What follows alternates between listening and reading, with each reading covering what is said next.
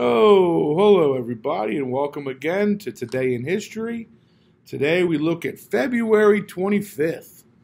In 1570, Pius V excommunicates Queen Elizabeth I of England and absolves her subjects from allegiance to the crown.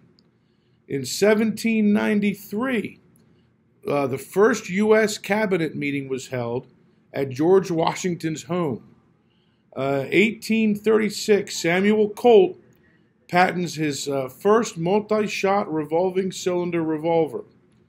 1901, U.S. Steel Corporation is organized under J.P. Morgan. 1913, the 16th Amendment to the Constitution is adopted, setting the legal basis for the income tax. 1964, Muhammad Ali uh, TKO Sonny Liston in seven rounds uh, for his first World Heavyweight Championship title. Born today, 1841, Pierre Auguste Renoir, French Impressionist painter and sculptor. And in 1943, George Harrison, English pop star and Beatle. Died today, 1957, Bugs Moran, American gangster.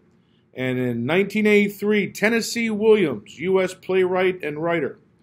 Uh, today in music history, in 1957, Buddy Holly and the Crickets record That'll Be the Day. And today is National Chocolate Covered Nut Day and National Clam Chowder Day. And those are our, our happenings for today in history.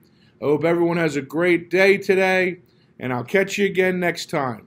Um, Danny Rufo, it's been my pleasure. Take care, everybody. Take it easy.